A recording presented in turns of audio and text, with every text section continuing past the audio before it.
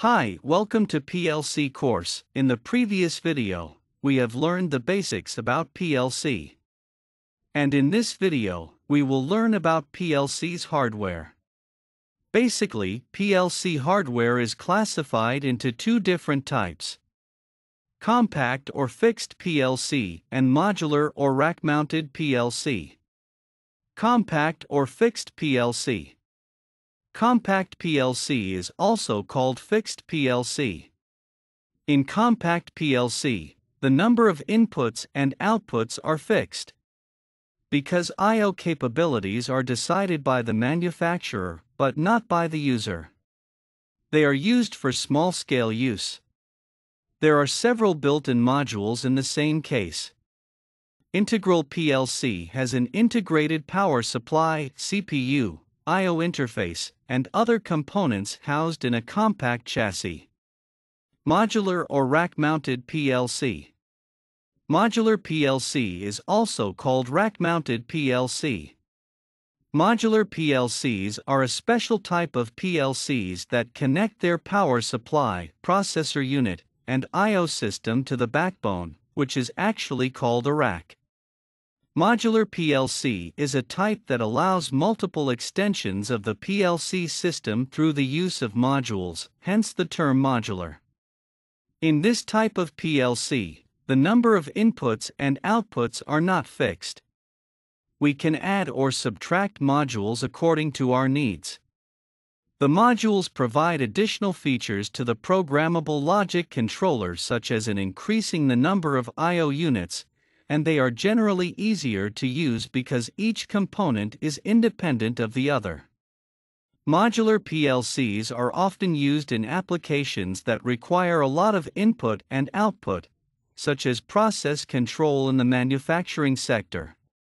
Let's discuss the modules that are used in PLCR. 1. Power Supply PS the power supply is connected to AC mains for the supply voltage. The output of the power supply is a DC voltage used to power all of the other modules associated with the PLC. Usually output voltage are 24 volt DC. The power supply does not provide power for field devices. 2. Central Processing Unit CPU the CPU consists of processor and memory. The processor section makes decisions needed to observe and operate the field devices connected to the input output modules. The decisions are based upon a user created program saved in the memory. The memory also stores data representing the condition of all input field devices and contains the data telling the output field devices what to do. 3. Signal Module, SM, or Input Output Module. The input output modules are also called signal module. They are connected to digital or analog field devices.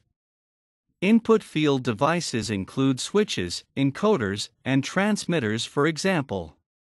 Typical output field devices are relays, lamps, and proportional valves. 4. Interface Module IM. The interface module is optional or an additional module. It is used for the rack to rack communication in multi tier configuration in modular PLC system. 5. Function Module FM. The function module is also added as an optional module. It is used in only in modular PLC or rack mounted PLC and not in compact PLC. For the function module, you can use the analog and digital types of modules. The high speed counter modules, PID, weighing modules can easily connect to function modules. And PID, CNC, position controller can interface to PLC through function module cards. 6. Communication Processor, CM.